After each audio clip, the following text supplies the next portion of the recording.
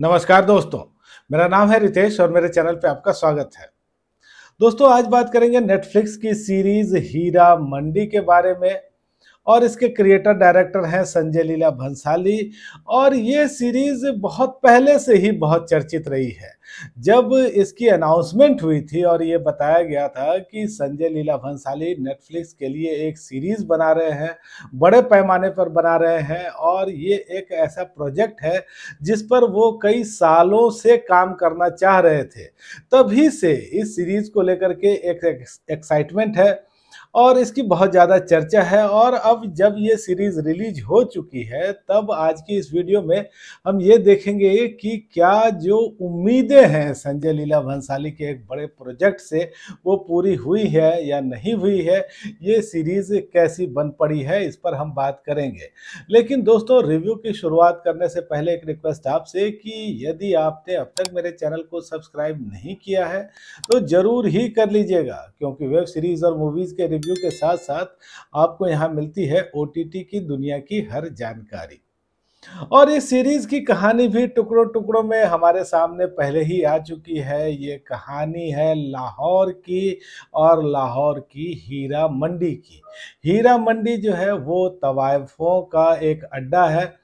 बहुत सारे कोठे हैं वहाँ पर और इन बड़ी बड़ी आलिशान हवेलियों में बहुत गहरे राज भी छिपे हैं।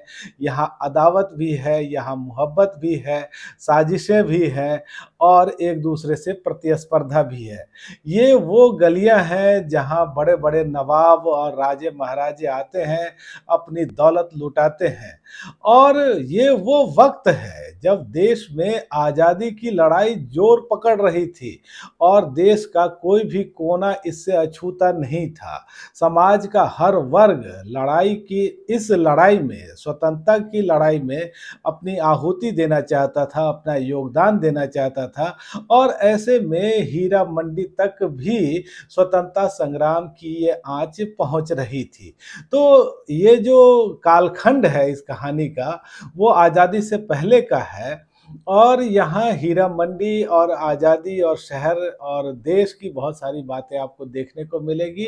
और यहाँ जो कहानी है, उसमें एक कत्ल भी है तो थोड़ा इसमें कुछ पेचोखम भी आपको देखने को मिलेगा। तो दोस्तों, ये जो सीरीज़ है, इसको संजय लीला भंसाली ने मुझे लगता है कि बहुत ही दिल से बनाया है। और देखिए कि हर जगह उनका योगदान है। अब वो क्रिएटर भी हैं, वो डायरेक्टर भी हैं प्रोडक्शन का काम भी उन्होंने संभाला है एडिटिंग में योगदान है स्क्रीन राइटिंग में है और इवन की म्यूज़िक भी उन्होंने दिया है। तो एक तरह से जैसे लग रहा था कि संजय लीला भंसाली अपने हाथों से इस सीरीज़ को सवार लेना चाहते हैं और वैसा ही बनाना चाहते हैं जैसा वो सोच रहे थे। और दोस्तों, जब आप इस सीरीज़ को देखना शुरू करते हैं तो आपकी आँखें फटी रह जाती हैं।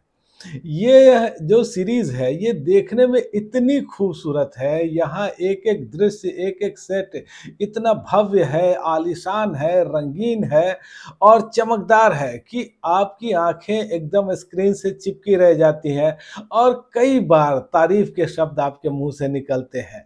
इसके अलावा जो यहाँ कलाकार हैं, वो एक से बढ़कर एक बेहद ही खूबसूरत हैं। इनके कपड़े जो हैं, गहने हैं और जिस तरह से यहाँ चीज़ों को रखा गया है, चाहे वो किसी कमरे का पर्दा हो या कमरे का दरवाज़ा, इतनी खूबसूरती से, इतनी नफासत से, इतनी बारीकी से पेश किया गया है कि देख करके मन खुश हो जाता है। तो ये सीरीज़ शुरू से ही अपने सम्मोहन में, अपने आकर्षण में आपको बाँध लेती है और इसके साथ ही एक कहानी चलती है। तो ये जो कहानी है, इसकी शुरुआत के जो एपिसोड में आप देखते हैं कि करेक्टर्स हमारे सामने आते हैं, कुछ अलग अलग करेक्टर्स और फिर धीरे धीरे हम उन करेक्टर्स के साथ उन कहानियों में आगे बढ़ जाते हैं।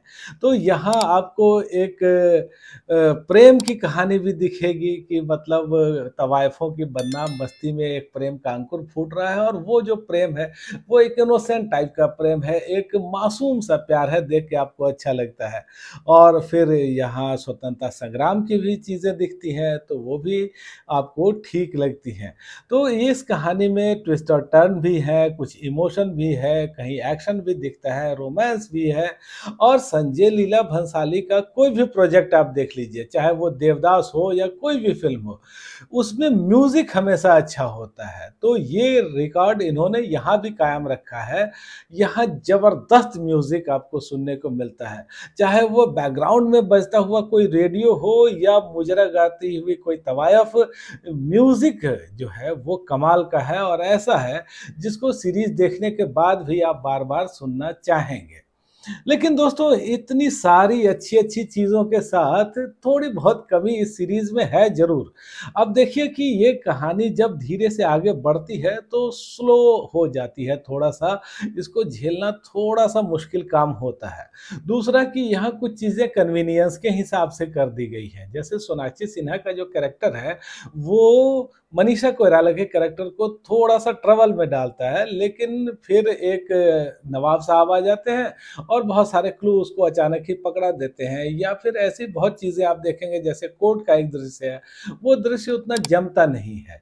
इसके अलावा दोस्तों, यहाँ जो देशभक्ति की बात रखी गई है, अब अदिति राव हैदरी का जो किरदार है बिब्बो का बिब्बो स्वतंत्रता संग्राम आंदोलन से हमेशा से जुड़ी रही है, उसमें वो अपना कंट्रीब्यूशन दे रही हैं तो उनकी बात तो ठीक है। लेकिन बाद में हम देखते हैं कि हीरा मंडी की सैकड़ों महिलाएँ अचानक ही देशभक्त हो जाती हैं। तो एक थॉट ये आता है कि भाई, अब करने के लिए कुछ नहीं है तो चलो देशभक्त हो जाए। तो ये बात उतनी जमती नहीं है। तो कुछ चीज़ें ऐसी हैं जो इसमें थोड़ी कम ज़रूर लगती हैं, लेकिन ये सीरीज़ जैसा मैंने कहा कि अपने जादुई आकर्षण से आपको बाँध करके रखेगी। और इसमें बहुत बड़ा योगदान कलाकारों का भी है। अब देखिए, मनीषा कोयराला का जो किरदार है और जिस तरीके से उन्होंने निभाया है, ऐसा लगता है कि उन्होंने उस किरदार में अपनी ही जान डाल दी है। और आप मनीषा कोराला के पिछली परफॉर्मेंसेस को याद करिए तो आपको ये लगेगा कि ये तो उनकी फाइनेस्ट, उनकी बेस्ट परफॉर्मेंस है। इसके अलावा आप सोनाक्षी सिन्हा को देखते हैं, अदिति राव हैदरी हैं, संजीदा शेख हैं, और फिर आप यहाँ देखते हैं रीचा चड्डा को, आप यहाँ देखते हैं शमीन सहगल को तो ये सब अपनी जगह पर अच्छी है। इसके अलावा यहाँ फरीदा जलाल आपको दिखती हैं, या फिर शेखर सुमन है। शेखर सुमन के बेटे भी थोड़ी देर के लिए दिखते हैं। और शेखर सुमन को जितना भी जो रोल मिला है, उन्होंने बहुत अच्छे ढंग से किया है, ताहा शाह है यहाँ और फिर फरदीन खान है, दूसरे बहुत सारे कलाकार हैं तो कलाकारों ने अपना काम अच्छे ढंग से किया है। एडिटिंग की गुंजाइश ज़रूर यहाँ थोड़ी थी, लेकिन जो बाकी टेक्निकल एस्पेक्ट है, चाहे वो आप कैमरा वर्क देख लीजिए, चाहे म्यूज़िक चाहे बैकग्राउंड स्कोर वो सब ही कमाल का है। तो दोस्तों, थोड़ी बहुत कमियों को इग्नोर अगर आप करें तो ये एक बेहतरीन सीरीज़ कही जा सकती है, देखने में मज़ेदार है और एक ऐसी सीरीज़ सीरीज़ है, जिसको आप बाद में भी याद रख सकते हैं। संजय लीला भंसाली की ये सीरीज़ है और हर डिपार्टमेंट पर उनकी छाप ज़रूर ही दिखती है। एक साफ़ सुथरी सीरीज़ है, आठ एपिसोड है, करीब 45-50 मिनट के आसपास के।